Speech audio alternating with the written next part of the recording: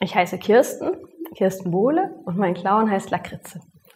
Und ich wohne in Bielefeld und das wollte ich eigentlich gar nicht mehr. Also ich hatte eigentlich vor, da wegzugehen, schon seit sehr früher Kindheit, äh, wollte ich in die weite Welt und dann habe ich mit der Clownsarbeit angefangen 2002 und jetzt ähm, ist dieser Gedanke völlig verschwunden, weil man dabei schon so viel erleben kann, dass man gar nicht mehr weg muss.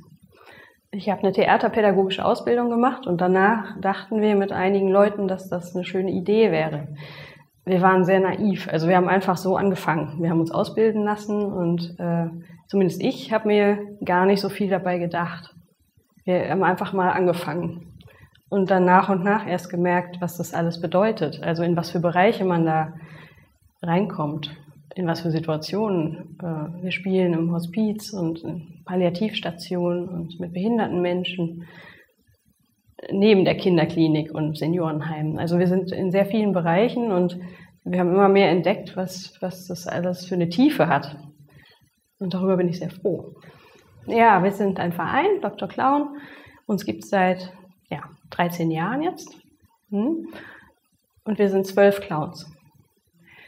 In letzter Zeit ähm, spielen wir auch bei Flüchtlingen. Also in, in, wir haben jetzt einmal in einer Erstaufnahmeeinrichtung gespielt neulich und da, ähm, also wir haben ein kleines Stück entwickelt, eine Kollegin und ich, wir haben ein kleines Stück entwickelt für Flüchtlingskinder und wir haben in einer Erstaufnahmeeinrichtung gespielt und zwei Monate später war ich bei einem Winterfest für geflüchtete Menschen in Bielefeld, aber auch alle Bielefelder waren eingeladen.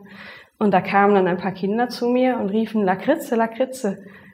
Und ich war da in Zivil, ich war da nicht als Clown.